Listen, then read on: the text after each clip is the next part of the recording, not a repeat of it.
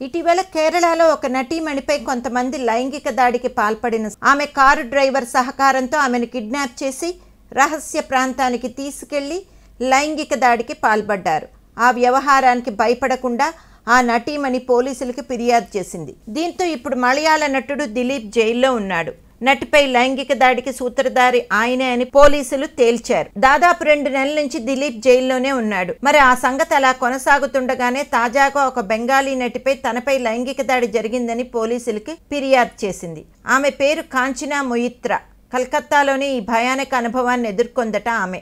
Shooting పూర్తి చేసుకుని ఇంటికి వెళ్ళబోతుండగా కొంతమంది తాగుబోతులు తమ వాహనాన్ని ఆపి వేధించారని కాంచన తన ఫిర్యాదులో పేర్కొంది అర్ధరాత్రి ఒంటి గంట సమయంలో కారులో వెళ్తుండగా కొంతమంది తనను ఆపారని వాహనంలోకి చొరబడి కీస్ లాక్కున్నారని ఆమె తెలిపారు. తనను కారులోంచి బయటకు లాగి అసభ్యంగా ప్రవర్తించారని పేర్కొంది. తనను తమ డ్రైవర్తోనే కొట్టించారని గుంజీలు తీసి కదలాలని ఒత్తిడి చేశారని తన ఫిర్యాదులో ఆమె పేర్కొన్నారు.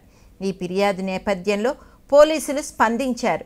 నటి కారుపై దాడి చేసిన వ్యక్తులను గుర్తించారు. వారిలో ఇద్దరిని అరెస్ట్ కూడా చేశారు. మొత్తానికి ఆడది అర్ధరాత్రి ఒంటరిగా నడిచి వెళ్ళినప్పుడే సిసలైన స్వతంత్రం వచ్చినట్టని మహాత్మా గాంధీ చెప్పారు. ఒంటరిగా కాదు కదా కనీసం కారులో వెళ్ళడం కూడా ప్రమాదకరంగా మారింది. ఇది దేశంలో పరిస్థితి.